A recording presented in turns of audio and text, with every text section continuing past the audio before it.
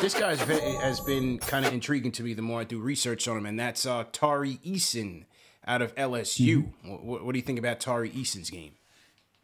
I like him a lot, man. He is a defensive playmaker. So I think that I mean it's Knicks fan TV, so I think they'd understand it. You remember the the hoopers and basketball players debate? Tari Eason is a hooper. Like I can watch guys and tell like, all right, this guy grew up playing with a trainer. He grew up playing in a gym where he was dribbling off cones, doing imaginary moves against chairs. Mm-hmm. And someone just kind of made him robotic. Tari Eason, nah, he grew up hooping at the park.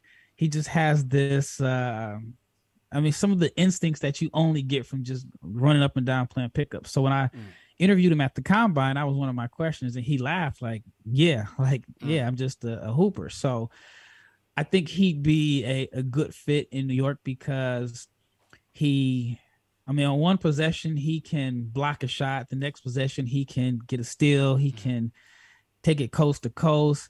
Game is kind of little little raw in a sense, mm-hmm. but he just has that those instincts that you just get from just playing pickup ball. Like he's mm-hmm. someone that he may not look great in the workout, right?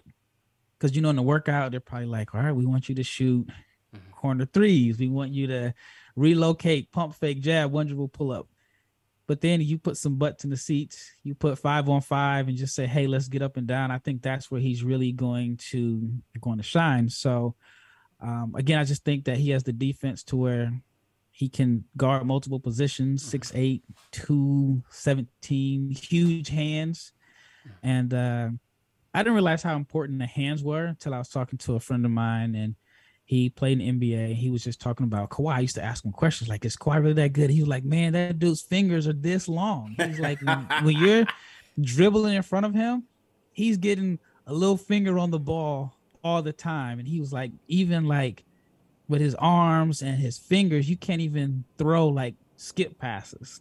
And he was like, it's that l- those little things that you don't really see. So I could see mm-hmm. Eason. It's it's it's a huge comparison, but I could see him being like this versatile, disruptive defender that blocks shots, gets steals. I mean, he averaged like two steals a game in like two 24 steals, minutes. Two steals, yeah. The shot is on paper. I think he shot like 36% from 3 mm-hmm, 35. So mm-hmm. it's respectable, but it's kind of like a low shot put. And I remember at the at his pro day, I sat next to some scouts and they were saying like, I don't know if he'll be able to get that off with NBA length because it's mm. such a low shot. So I don't know if he'll need to change it or make it a little bit faster, but it just depends on the gravity.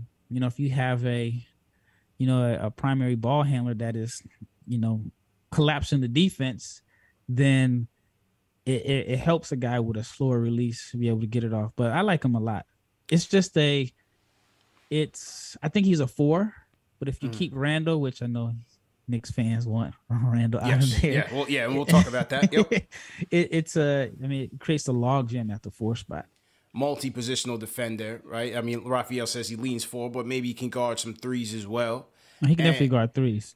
And and I look at it like, you know, yes, we don't have that initiative, but how do we help our offense? Well, we can help our offense with a guy who can play tenacious defense, with a guy who can get takeaways. I mean, look at look at I look at uh, Memphis's offense. Yes, they have Ja Morant, you know, superstar. Forget about that. But in the half court, their offense was quite pedestrian. But the reason why their overall offense was so good was number one, offensive rebounds, and number two, takeaways. They were top top two, top four in uh, in transition buckets, and that was a lot of that was off of steals, blocks, so on and so forth. You have R.J. Barrett, you have Obi Toppin, two guys who excel in transition in the fast break.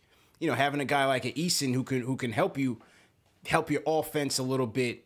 Um, I, I think through his defense, I think that would be helpful. Yeah, I, I agree hundred percent. It's just like does the Knicks style on offense. You know, if it's if it's a slow down style, then I think you can run into some spacing space spacing mm-hmm, issues mm-hmm. there. Um, but I like him a lot. I mean, I think he'd be a fan favorite.